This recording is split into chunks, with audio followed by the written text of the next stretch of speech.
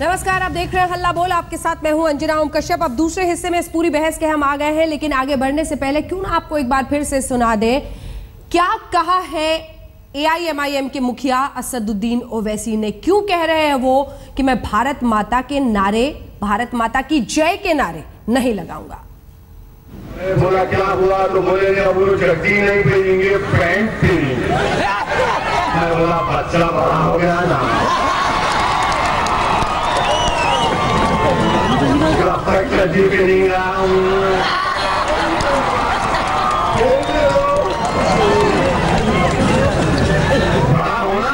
तो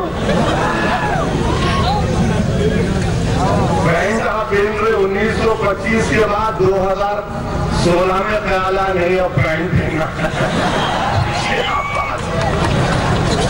कल क्या हुआ हिंदुस्तान के होम मिनिस्टर राजनाथ सिंह साहब बैठे हैं और बाबा खड़े खड़े होके बोल दिए पाकिस्तान जिंदाबाद पाकिस्तान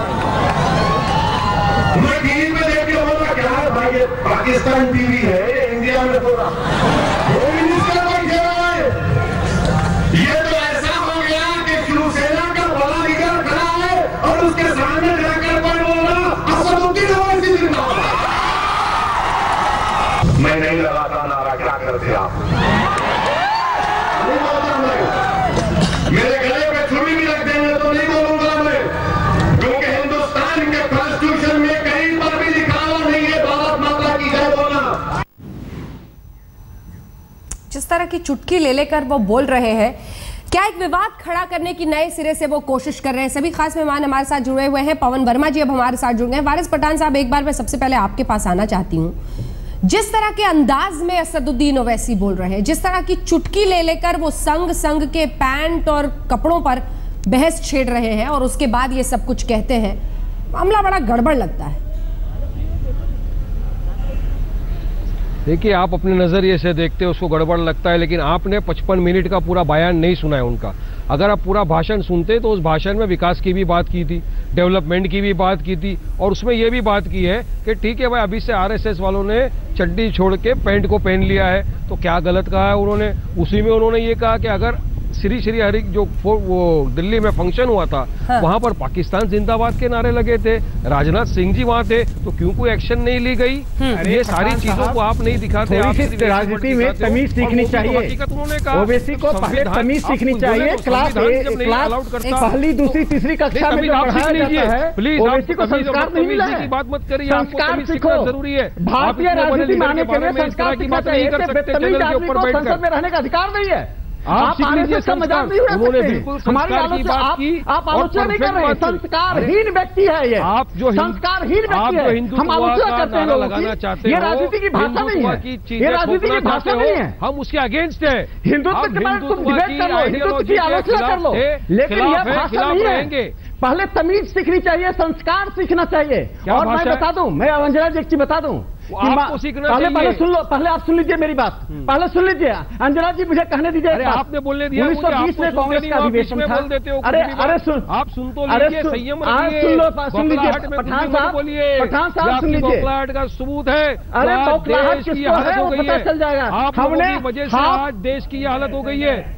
एक सेकंड एक सेकंड एक सेकंड। अंजना जी मुझे 30 सेकंड चाहिए अंजना जी 30 सेकंड 30 सेकंड चाहिए 30 सेकंड। देखिए मैं एक बात कहना चाहता हूँ 1920 में नागपुर नागपुर में कांग्रेस का अधिवेशन था। मोहम्मद अली जिन्ना ने कहा मैं गांधी को महात्मा नहीं बोलूँगा। महात्मा तो रिलीजियस नहीं था। ये भारतीय संस्कार भारतीय संस्कृति का एक शब्दावली था।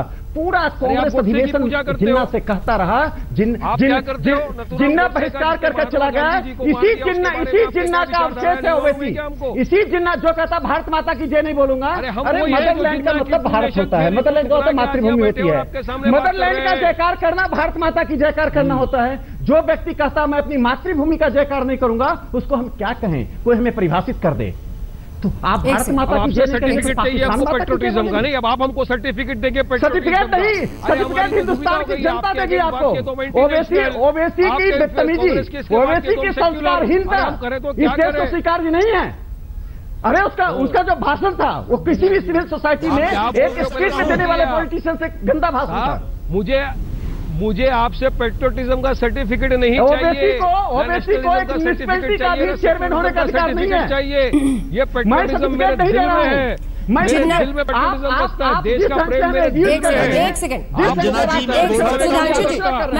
संजय जी फ़ौरन इसके बाद। सुधांशु जी जिन्ना का वो ज़िक्र कर रहे हैं तो फिर लालकृष्ण आडवाणी जी ने क्या बोला और क्या हुआ? सवाल ये है कि पीछे जाने पर बहुत सारी बातें निकलती बातें हैं नहीं होती हैं। कानूनन क्या कोई कार्रवाई हो सकती हो वैसी? पर इस पर मुझे एक एक फैक्चुअल जवाब दीजिए आप। सुधांशु देखिए मैं पीछे जाने पे बहुत सी बातें नहीं अंजना जी मैं फैक्चुअल जवाब देता हूँ। हाँ। भारत का स्वतंत्रता संग्राम जब शुरू हुआ क्रांतिकारियों का पहला संगठन बना था बंगाल में अनुशीलन समिति। उसमें हिंदू मुसलमान दोनों थे। मैं वारिस पठान साहब से पूछता हूँ उन्होंने भारत माता की जय बोला था कि नहीं? अशफाक उल्ला खान जो कि काकोरी कांड में जेल गए फांसी पे चढ़े चंद्रशेखर आज़ाद रामप्रसाद बिस्मिल के साथ। भारत माता की जय जेल में बोला था कि नहीं?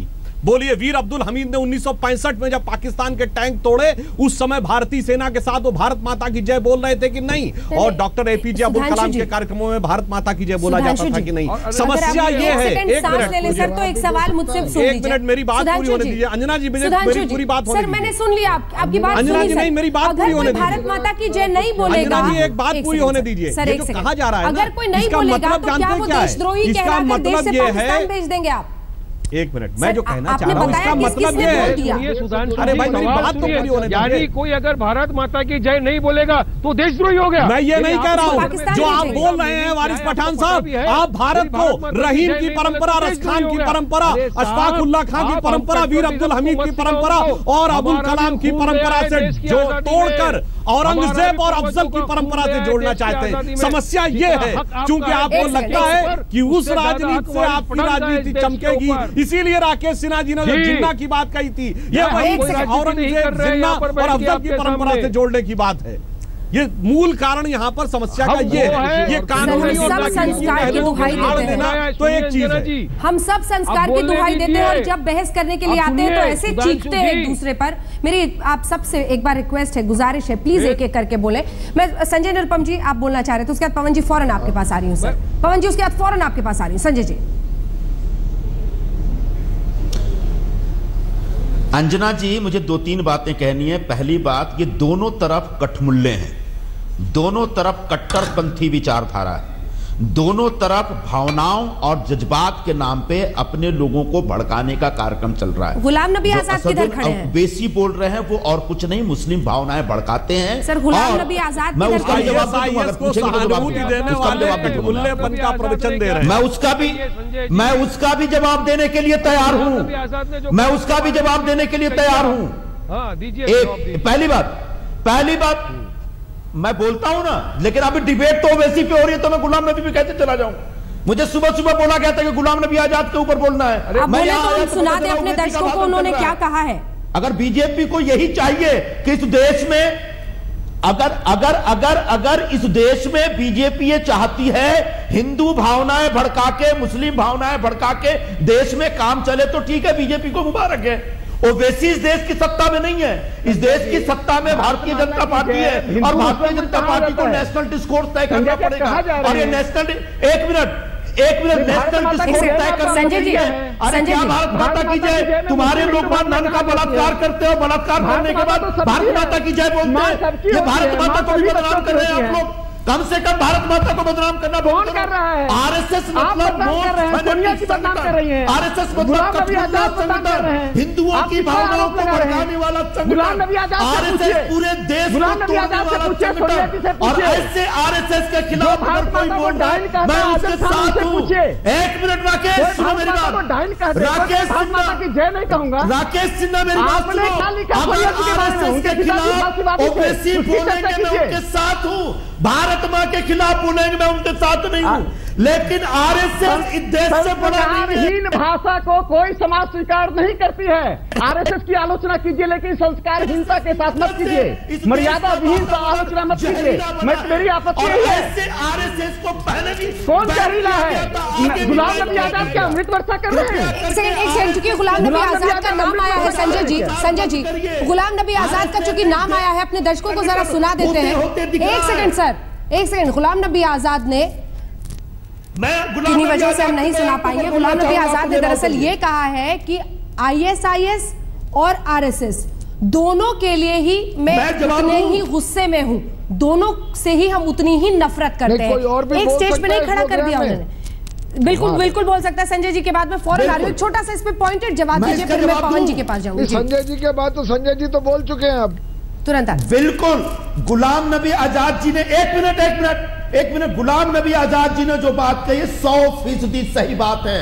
आईएस भी धर्म के आधार पर एक राज्य की कल्पना करता है और मुझे लगा कांग्रेस में कुछ लोग दिवालिया हैं। पूरी कांग्रेस मानसिक रूप से दिवालिया हो चुकी है। सामूहिक और दिवालियापन दोनों का के ये उदाहरण विचारों है की कि आप निंदा उससे बात होनी कर रहे चाहिए। हैं भारत भारत कई धर्मों का देश है। यहाँ सभी धर्मों को साथ में रहने की आप सिखाया किस है। सेना में चलिए, और सब एक साथ कोई कोई किसी को नहीं सुन पाएगा। इन सब के बीच इस विवाद के बीच असदुद्दीन पवन वर्मा जी कह रहे हैं असदुद्दीन ओवैसी कि मुझे अपनी देशभक्ति साबित करने के लिए ये नारा लगाने की ज़रूरत नहीं है। मैं नहीं मैंने जो कहा है सही कहा है।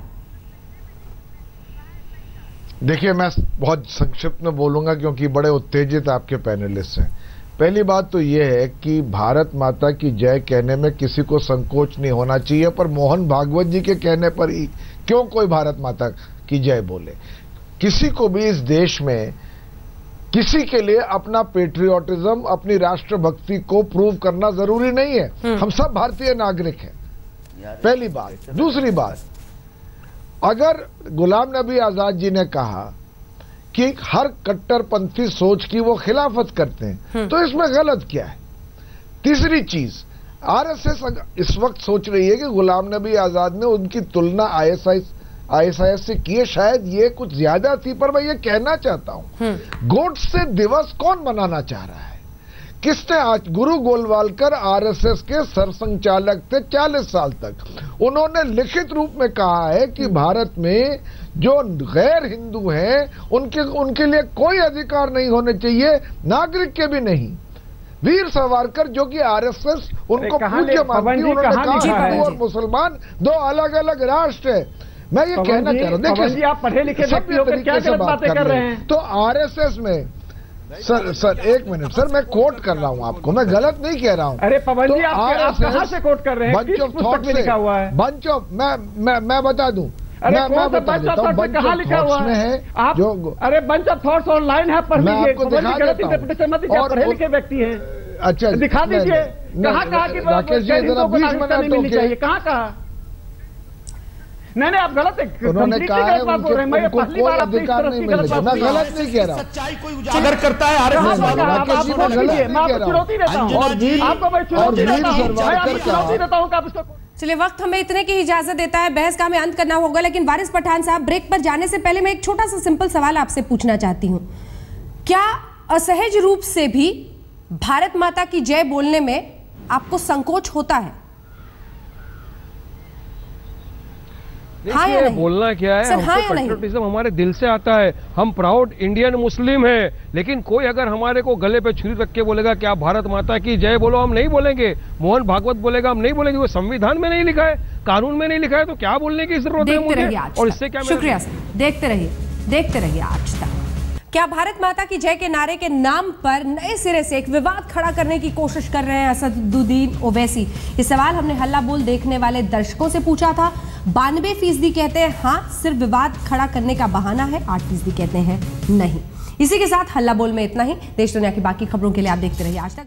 हैदराबाद की एक अदालत ने विजय माल्या के खिलाफ गैर जमानती वारंट जारी किया है। बैंकों के 9000 करोड़ डकारने के आरोपी विजय माल्या की मुश्किल बढ़ गई है। और पुलिस? पैसे वाले बाबू मेरा बजट बना दो। पैसे वाले बाबू मेरा बजट बना दो। बजट बना दो बजट बना दो पैसे वाले मेरा बजट तू